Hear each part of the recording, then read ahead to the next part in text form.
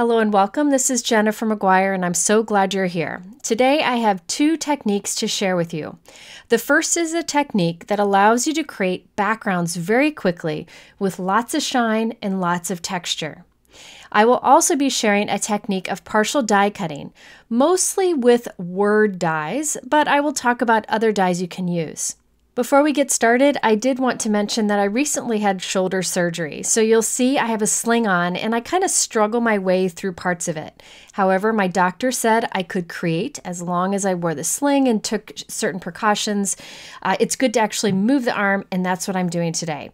So this took me a few days to do. I'm a little bit slower and not as um, with it as I normally am with creating, but I still hope that you enjoy the techniques I have to offer. Okay, let's get started. I have a lot to share.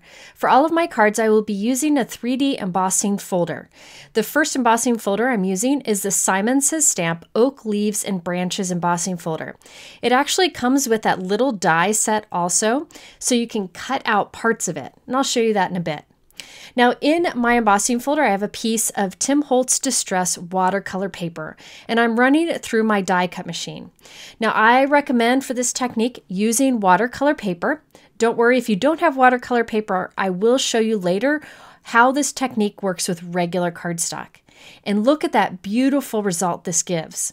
I did mist both sides of the watercolor paper with water first, just to get a deeper impression. I do feel that makes a bit of difference. By the way, I will be using 3D embossing folders today, but you could do this technique with traditional embossing folders too. Now to create my quick shimmery and colorful background, I am using Tim Holtz Distress Mica Stain Sprays. I highly recommend this product. It gives amazing shimmer, beautiful color, and really is a great way to create fast backgrounds. Now here I'm spraying three different colors on the background. I have this little container that I do my spraying in. Now, a little goes a long way with these. You can just do a couple sprays of each color and then mist it with water, which I'm about to do here. And when you mist with water, it moves that mica stain spray. Now, what's special about these mica stain sprays is that the mica itself has the color, so it really will give beautiful, colorful shine. Now, you could use regular sprays for this if you wanted to, and maybe you could sprinkle on some pigment powder or whatever, but this really does it all on its own. I did a few uh, sprays of the mica stain spray, a little bit of water, and then let it dry. And look at this beautiful result. Now, when I do this, I kind of lose a little bit of that texture.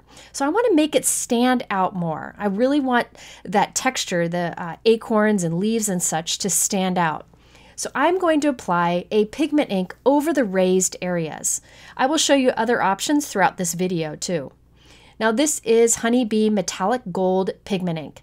I have a Tim Holtz brayer that I'm picking that ink up with, and I will carefully roll that over only the raised areas of my background.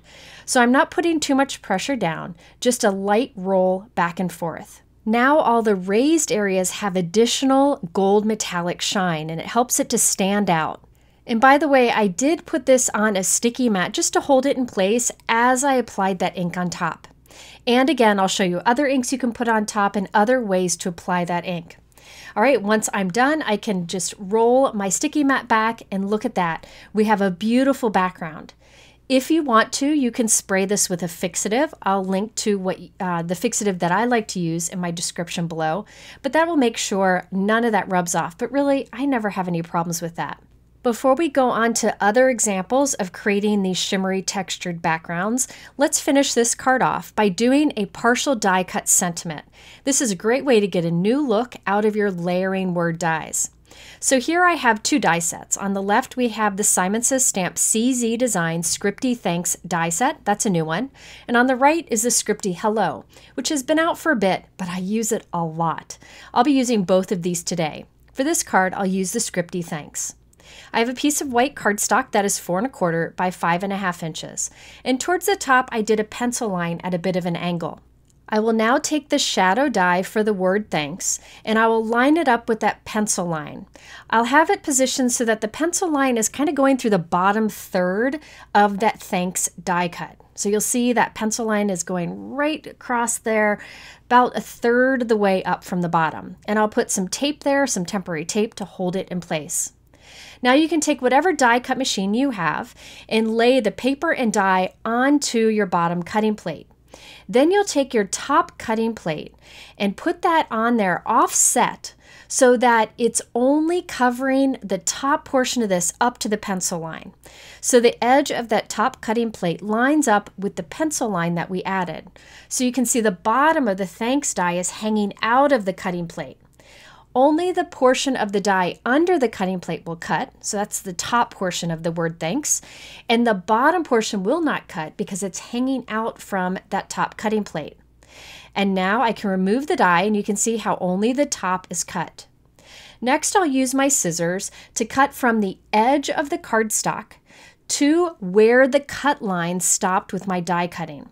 So I have my scissors here and I'll cut from the edge to where the die cutting stopped there. So it's right about in line where that pencil line is. And then I'll do the same thing on the other side. So now we have this panel with the shadow of the words thank of the word thanks sticking out from the top.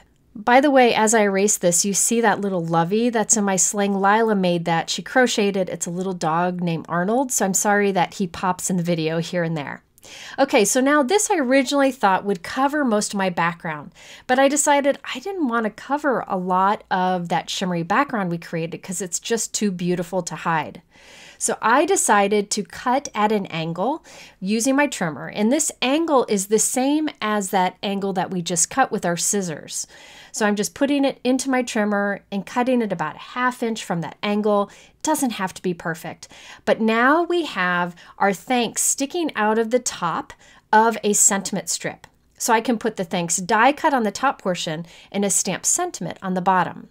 Let's do the stamp sentiment first. I'm using this new Simon Says stamp stamp set. There is a coordinating die set available to go with it, and I will be using both the die and the stamp set later in this video. But for this card, I'm just using one of the sentiments in here that says, for your love and support. Now I have my MISTI stamping tool here, and in it I have my waffle flower grip mat that will hold that white die cut piece in place as we do our stamping. I put the thanks die cut on there as a holding place and I'll line up the stamp underneath it on that long strip that we have cut. Once I have that stamp position there, I will close the door on my MISTI stamping tool. I'll use my anti-static powder tool and then stamp it a few times with Versamark ink. Whenever I stamp with Versamark ink, I do like to stamp it two or three times because we're first stamping onto the anti-static powder tool, which might hinder some of that ink from remaining on the paper. So by doing it two or three times, we can be sure that we have a nice crisp Versamark clear stamped image, and then we have anti-static powder tool all around it. So we will have nice crisp heat embossing. Okay, so after I've stamped that, we will just add gold embossing powder and heat set. I thought the gold embossing powder would go nicely with the gold that we added on our textured and shimmer background. So I die cut the word thanks once from white cardstock and once from gold matte cardstock, and I'm gluing those together. That'll give us some nice dimension. Then I will add that stacked die cut onto our partial die cut border. Then we can finally add this onto our card, but I think it looks really cool if you have some dimension behind that partial die cut piece. So I have some white scraps here that I got from my scraps drawer, and I'm gluing three of those together. Now you could use a strip of foam tape here, but I figure these little strips here would have gone in the trash anyway, so I might as well use them to build dimension instead of foam tape. So I glued two together here. I'm going to trim them. And then I'll glue another one onto that and trim it also. Then all of those stacked strips will get glued behind our partial die cut border. Now for the area behind the shadow thanks, I could use foam tape or cut up uh, cardstock scraps, but instead I die cut thanks three times, glued those together, and then glued that on the back. That way it would have the same raised dimension, very even, and it'll hold up nicely through the mail. Now before we glue this together, I did decide to add some gold textured leaves. You can see them kind of sticking out by the S in thanks. For this, I used the same embossing folder, but I also used the dies that come with it. Using the dies, I cut from gold matte cardstock. I'm putting tape on the back of each of those little die cuts and lining it up in our embossing folder. You can line it up very easily looking through the folder. And you can actually put all of the die cuts in at the same time so you can add the embossing at the same time. So I ended up doing this with three leaves and three acorns. You can see these die cuts are very flat, just have that outline shape to them. But once you tape them into the embossing folder and run it through your embossing folder as you would if you were doing a background, the folder will give that texture detail to those die cuts. And when you use metallic cardstock, it really looks like a faux metallic embellishment. It's really cool result. You could do this with regular cardstock, but man, does it look good with that metallic gold. So now I'll just take those little die cuts out. There's a closer look at the detail on the leaves and the acorns. And now those accents are ready to go too. All right, now I have a top folding white note card and I'm covering the front of it with a piece of Altenew double-sided adhesive. Whenever I want to glue a textured background onto a note card, I like to use double-sided adhesive to make sure we get a good connection. I'm putting my note card with adhesive in the corner of my stamping tool, and then I can put my background onto it, also placing it into the corner. That's an easy way to line it up. After I've got that glued together, we can add our partial die cut piece, and I have that at a little angle going along the bottom of the card. After I add this to the card, I did tuck the little metallic leaves and acorns so it looks like it's coming out from behind the word thanks. So here's a look at the completed card. We have that fun partial die cut technique that we did to the sentiment, which really changes it up. It combines that die cut thanks with the rest of the sentiment. Then for the background, we quickly made it using the Tim Holtz mica stain sprays. And then we also added that gold metallic ink over the 3D embossing. So this is just a super fast way to create a card and add a little interest to it with that partial die cutting. Okay, for our next example, I'll be doing a variation of that mica stain spray background and I will also use partial die cutting to create a focal point for our sentiment strip. All right, this time I'm using a Simon Says Stamp Icy Snowflakes 3D embossing folder. This one does come with a die to cut out the snowflake that you can add texture to, but I'm just using the embossing folder alone. I have Tim Holtz Distress Watercolor paper. I misted it on both sides with a bit of water, put it in the embossing folder, and ran it through my die cut machine. By the way, you just need to follow the instructions that your machine comes with for using a 3D embossing folder. And look at that great texture. Now I'll put that into my spray box here and I'm spraying with three different colors of Tim Holtz mica stain spray. Now you could use, as I mentioned, any sprays here. The reason I always reach for these, and I have many times in videos, is because of that mica shimmer that it has. It gives such beautiful results very quickly and with very little effort. Now I've done many technique videos using these. I'll link to a couple at the end of this video, but today I'm just putting that color down and then misting it with some water to kind of move that all that mica color together to get a shimmery watercolor background. All right, so now you can set that aside to dry, or you can heat set it if you're impatient like me. Once we're done, you could see that the snowflakes kind of got lost. So what I like to do, I didn't do this on the first example, but I will do on the rest of my examples. I'm putting that dry background back into my, my, my embossing folder. It'll pop onto the raised areas in the embossing folder and it'll fit just in place. Then you can run it through your die cut machine again, and that will help to bring back some of the texture that you might have lost when you added a lot of spray and water to it. Now I let that dry again, or you could heat set it. Then this time I'm using a brayer and a dark color of ink. This is Simon Says Stamp dye ink in the royal color, and I'm rolling that very gently over the raised areas. This will give more definition to those snowflakes and make them stand out even more. Because I put wet ink, this wet dye ink, onto that shimmery background, I will heat set it to make sure it dries. If you want to be sure that none of it rubs off, you can always use a clear fixative spray, but I just left mine as is. Okay, we'll set that background aside. Now let's do our partial die cut snowflake where we can make our sentiment strip stand out. I have the Simon Says Stamp Willow Snowflake die set. This includes the shadow of the snowflake and then the detailed snowflake die itself. Off screen, I put two pencil lines on this four and a quarter by five and a half inch white background, one two inches from the top, one two inches from the bottom. I will then take the shadow snowflake die and tape it temporarily at the center of that white cardstock panel.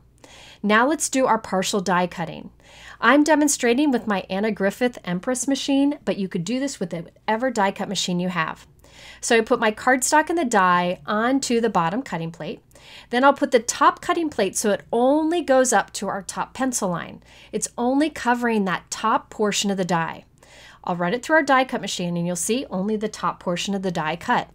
Now I'll turn that around, put it back onto our cutting plate, and now we're cutting the other end of this white cardstock piece. Now, this time I'm going to show you that you can line it up with the edge of all of your cutting plates. So look at that pencil line there. I'm lining up with the edge of all of my cutting plates. So that's just another way you can do that. Only the portion between the cutting plates will cut, anything hanging out won't. And now we have both sides or ends of that snowflake cut, but the center area is left uncut. Okay, now I will use my scissors to cut from the edge of the cardstock right along that pencil line up to where the die cutting stopped. So you can see the two cuts on this side, we'll rotate it, and then two cuts on this side. And now we have this snowflake shadow with that portion of uh, white cardstock, like a white cardstock border sticking out the left and the right. It's just a fun way to change up the look of dies you have. Could you just glue a die cut on top of a white border? For sure. But there's something really cool looking about doing partial die cutting. All right, now this piece will get glued onto our background, but let's finish everything else that goes on top of this white piece first. Off screen, I die cut the snowflake from watercolor paper, and I'm misting it with the same mica stain sprays that I used for my background so that it will match. I should have done these at the same time, the background and the snowflake, but I didn't think of it at the time, so I'm going back and doing this now. After applying all the color, you can either leave it to dry, which I do recommend doing. I feel like it blends better that way, but I'm impatient, running out of time, so I'm heat setting it with the heat gun. I then die cut an additional snowflake from white cardstock, and I'm gluing that behind our colored one, just so it has that little bit of extra dimension. You could even glue two die cuts behind it if you want it. So I glued that snowflake at the center of our partial die cut white piece. Now it's time to add that sentiment strip. I'm using a pre-printed sentiment strip from Simon Says Stamp. I cut that out and it's four and a quarter inches wide and I'm matting it with a dark navy cardstock strip. So it'll have a little bit of navy peeking out the top and the bottom. And then I will trim the excess off the edges. So again, this ends up being four and a quarter inches wide, so it spans right across our entire card. Now remember that blue snowflake there has some dimension to it because I stacked some die cuts. So I want to put some dimension to the left and the right of that snowflake where our sentiment will lay. This will just ensure that it doesn't get squished in the mail. So I have some white cardstock strips here and I'm gluing one to the left of the snowflake and to the right of the snowflake. And then I'll glue another one on top of that. So I'm building up dimension. Again, you could use foam tape, but I want to use up these scraps so they don't go to waste. Now I have a nice raised area there to glue our sentiment strip. So I'm putting glue all along that straight across and we can add our sentiment on it. And now look at how that partial die cut piece really focuses in on our sentiment. Now I can put strong liquid adhesive on the back of this. I tend to put a lot on the back of this because we're gluing it onto a textured background. So I want to make sure that it makes good contact. I'll put something heavy on that while it dries, and then I'll glue that entire background onto a four and a quarter by five and a half inch top folded white note card. To finish it off, I did add some Pinkfresh glitter gems. These have a blue glitter in them, which really pulls out that colorful shimmer in the background. And when I tilt this in the light, you can see that beautiful shimmer that we got thanks to that mica stain spray background. You can see how the snowflakes stand out because we put that dark blue ink on the raised areas, and how the partial die cut technique really draws your eye into that small print sentiment strip. All right, let's go on and do some more. I'm going to do a lot more examples using this fast background technique and partial die cutting. I just feel like the more examples I show, the more confident you'll be to go try all these things with supplies you have. So I am using another 3D embossing folder from Simon Says Stamp and again, Tim Holtz watercolor distress paper. And look at that gorgeous texture. By the way, you could use any watercolor paper. I will spray this with three different colors of Tim Holtz mica stain spray. Now, if you don't have mica stain spray, you could also do ink blending with maybe distress inks over the background and then spray with some water and perfect pearls or use some kind of clear shimmer spray. Really, any technique would work here. I'm choosing to use the mica stain sprays because a little goes a long way. You get beautiful colored shimmer. Okay, so I sprayed with the three colors. Now I'll spray with a little bit of water to get those colors to blend together, and I'll set it aside to dry. Once it's dry, I will put it back into the embossing folder, the same one, and run it through again just to redefine all of that texture. Now I've put it onto my sticky mat here, and I'm going to this time rub pigment ink over the raised areas. I like to take my white pigment ink pad and press it on my glass work surface, and use a brayer to pick up the ink. I then will gently roll that over the raised areas of our embossing foldered background. Now, the reason I'm not taking my brayer directly to the ink pad is if there's any ink on the brayer, I don't want to contaminate my ink pad. So by putting the ink onto my glass work surface and running my brayer through that, I don't have to worry about contaminating the pad. So on our first example, we put gold metallic ink on the raised areas. On our second one, we put a color ink on top. This time we did white pigment ink. And look at how it makes that texture pattern stand out on that shimmery, colorful background. Off screen, I'll heat set that white pigment ink, and you can spray it with a clear fixative if you want to. I also did a partial die cutting technique with the Scripty Hello die set. So I did this the exact same way I did the thanks partial die cutting earlier, but instead with the hello word. I then did hello in black cardstock and stamped sending you a hug in black ink underneath it. Now for the background, I added a little gemstone at the center of each of those little flowers just to make it stand out more since this is a pretty simple card design. I will say I feel like that partial die cutting makes this simple card design stand out even more. Okay, let's do another example. This time I'm doing partial die cutting around a stamp sentiment. But first, let's do that background. It kind of has a patina look to it. I am using another new Simon Says Stamp 3D embossing folder called Carnival Petals. This does a beautiful floral image that would really work all seasons. So off screen, I use this embossing folder with watercolor paper, and now I'm adding on two different green shades to the background. Now I really wanted this to be green, you know, not like have much variation on it, so it wasn't too distracting. Do know you can make these backgrounds with just one color if you wanted, or you could do a whole rainbow. I gave that some time to dry and now I'm putting it back into the embossing folder, popping it right onto the raised dimension. I'll run it through my die cut machine again just to bring back even more of that texture that might have been lost when we put all that moisture on it. Now my brother comes in here to crank it for me because my shoulder's bothering me, so you'll see his hands just in case you were wondering. All right, now onto this. I wanted to make the raised area stand out more.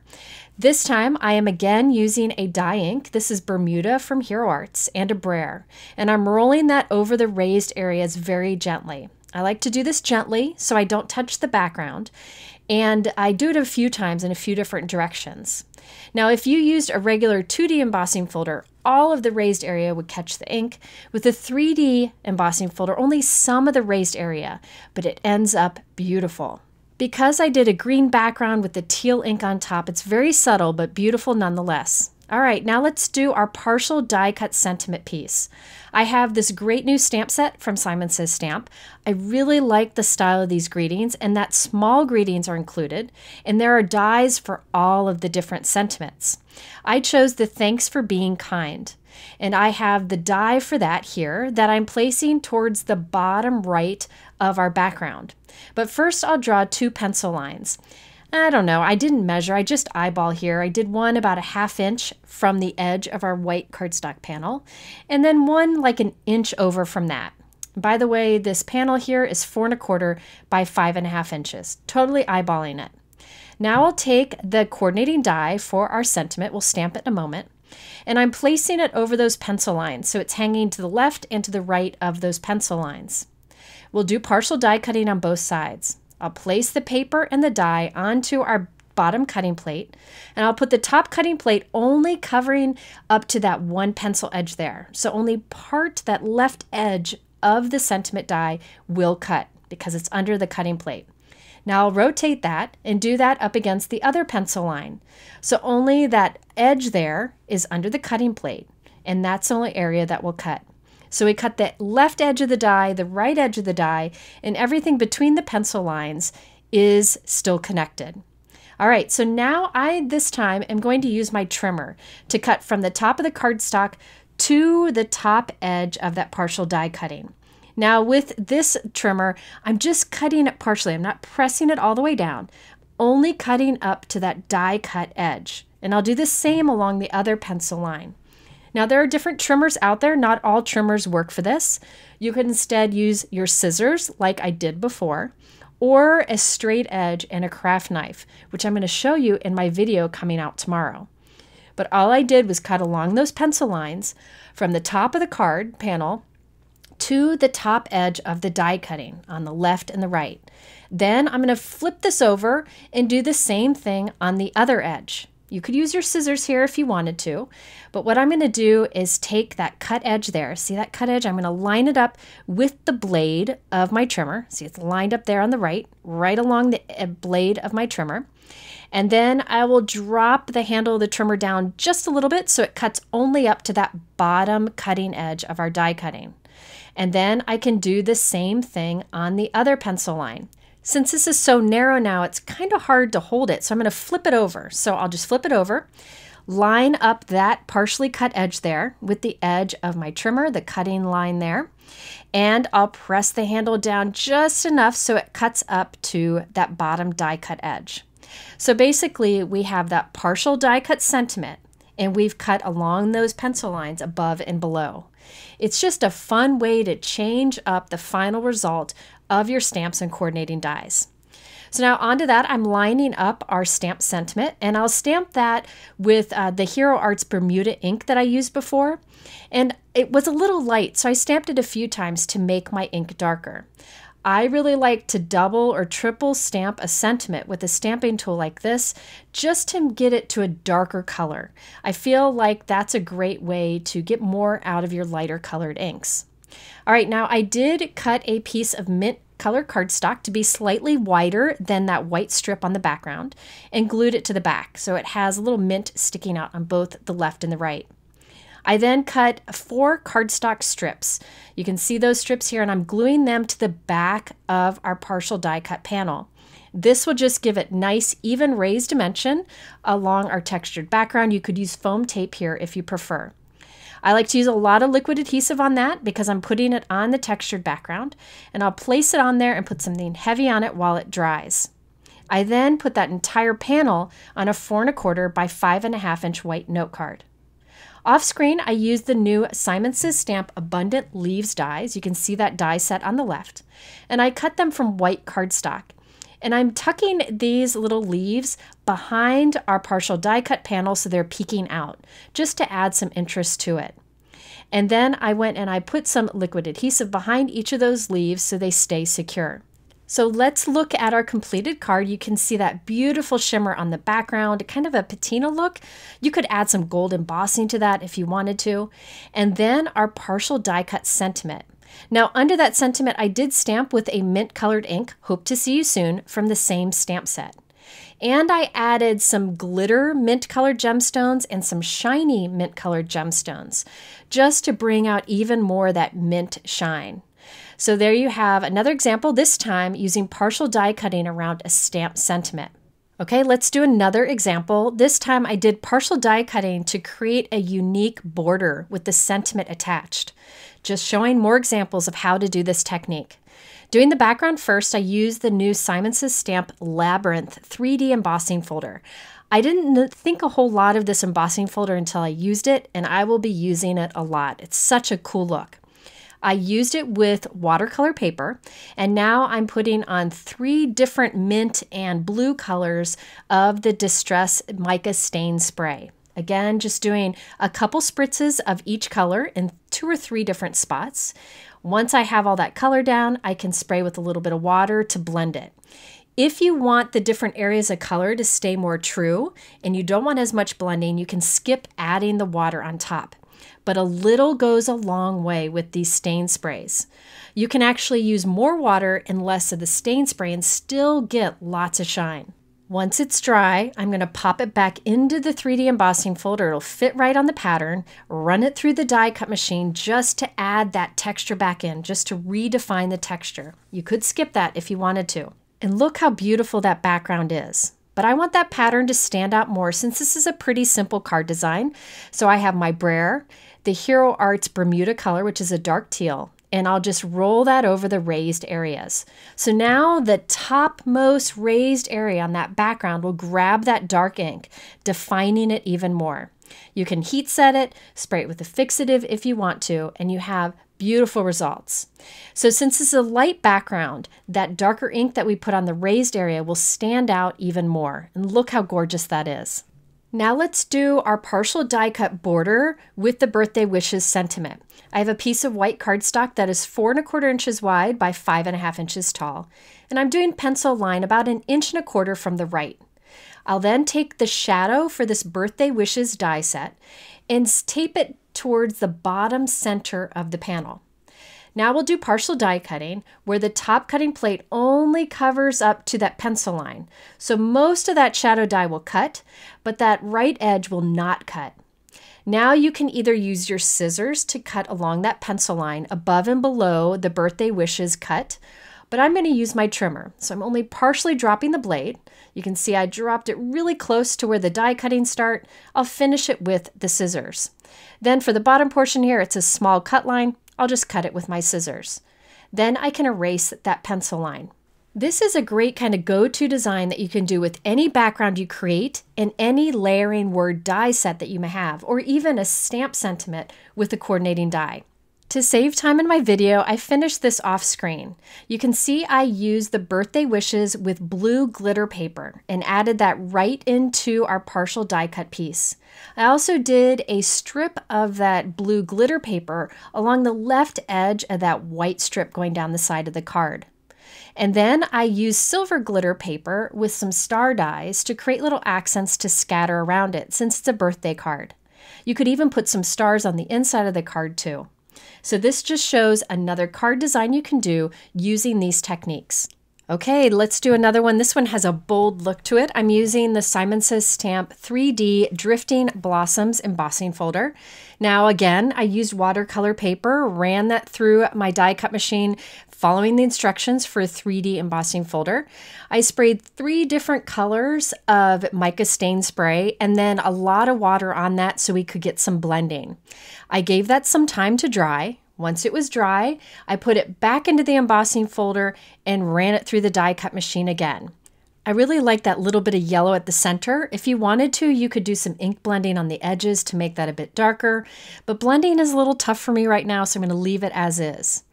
Now on to the raised areas of this, I will use cherry ink. This is from Hero Arts. You really could put any ink you want to on top of here, as long as you heat set it afterwards so that that ink dries and use a fixative spray if you want to. And look at how that little pop of red on the raised areas really defines those flowers in the background. For the partial die cutting on this one, I'm again using this Thankful and Grateful stamp set, and we'll do partial die cutting around the thankful word. I have a four and a quarter by five and a half inch white panel, and I'm just drawing a pencil line at an angle towards the bottom. I'll take the shadow die that will cut out the word thankful and put it over that pencil line, and I'll tape it in place. Then we'll do partial die cutting so that that top cutting plate only covers a little more than half of the thankful. So I'm just lining it up with that pencil line. I'll run that through my die cut machine and you can see the top portion of the word thankful cut out. I then can cut up to the end of the word thankful on both sides. Since it's a small area, I'll just use my scissors. I can cut straight for this short of an area. Now the rest of that white cardstock I can save for something else. Now I'll erase that pencil line and stamp thankful into the opening, just lining it up with that die cut, partial die cutting that we've done. And then underneath that, I can stamp an additional sentiment with black ink. Now I glued that on top of our bright red background, which is adhered to a four and a quarter by five and a half inch top folding white note card. Around that, I added some ombre glitter gemstones from Pinkfresh Studio. They're kind of like half gold and half red, which I felt matched our background perfectly. So you can see there's a lot of shine and a lot of color in the background. We have the interest of the partial die cut border, so I was able to keep this card design very simple. This next card has the only background where I did not use watercolor paper. For the embossing folder background, I used regular white cardstock and I used the 3D Falling Leaves embossing folder. And you can see the beautiful detail you get. Again, this is just regular white cardstock. I will add Tim Holtz mica stain sprays onto this, just as we've done several times in this video. This time I put down a lot of yellow first, and then I added a couple other colors on top. Now you'll notice that this absorbs into the paper very quickly because this is not watercolor paper, this is regular cardstock. So you're gonna get a more splattered look from this because you get those big droplets that aren't gonna move much when you add water to it. So you can see how you see more of the spray on it when you use regular cardstock instead of watercolor paper. It's just another way to use these sprays and get a different look. So now after that's dry, I'll put it back in the embossing folder, run it through my die cut machine, again to just redefine all of that texture. And there we have our background. So you can see there's more of a splattered look on the background. To really make that pattern in the background stand out, I'm applying Moss ink from Hero Arts over the raised area. And all of the examples I've done so far, I've used a brayer, but if you don't have one, you can always take your ink pad and just gently rub it across the raised area. Don't push too hard or you'll hit the background. You really just want to stay on the raised area so you can see those leaves pop out. You'll just give that a little bit of time to dry and then you can move on to the rest of the card. The partial die cut sentiment on this one is towards the top of our card. So I have a white panel here that's four and a quarter by five and a half inches. Towards the top, I did a pencil line at a diagonal, and I have the Memory Box Happy Fall die set. I have the shadow die and I'm taping it right on top of that pencil line at the same angle. I will then do partial die cutting and you'll see I put the cutting plate along the bottom of and just lining up with that pencil line. So half of the die is under the plate and half of the die is out of the plate. Only the portion under the plate will cut. I'll run that through our die cut machine. Then I will use my trimmer to cut along that pencil line from the edge to where the die cutting starts, and then the same on the opposite side. You could use scissors here, you could use a trimmer, or you could use a straight edge and a craft knife, whatever you feel most comfortable with. I used gold matte cardstock to cut Happy Fall, and I'm gluing that right onto our partial die cut panel, just lining up the word fall with that shadow die cut. I then added that onto our background, which is on a four and a quarter by five and a half inch white note card. So here's a look at our completed card. I did add some gold glitter gemstones around the happy fall just to pull your eye there. And on the background, you can see a little more definition of the spray because instead of using watercolor paper, I used regular cardstock. So I encourage you to experiment with sprays on different types of cardstock. But because I put that green ink over the raised areas, you can definitely see the definition of those leaves. Before we go, I thought I'd give you a little sneak peek into the cards that I'll be making in my next video. In that video, I will talk more about partial die cutting and how to use it with different types of dies, just to stretch your supplies and get new looks. So be sure to come back tomorrow. And in the meantime, if you're interested in the supplies that I used on any of today's cards, including these sneak peeks, I will have them linked in my YouTube description below. Now at the end, I will also link to a couple other related videos with similar techniques if you're looking for more inspiration. I really do appreciate the time that you spend with me. I know my videos are long, but I'm hoping that you learned a thing or two. And if you haven't done so, please hit the subscribe button so you can catch my future videos. Thanks for watching. We'll see you soon.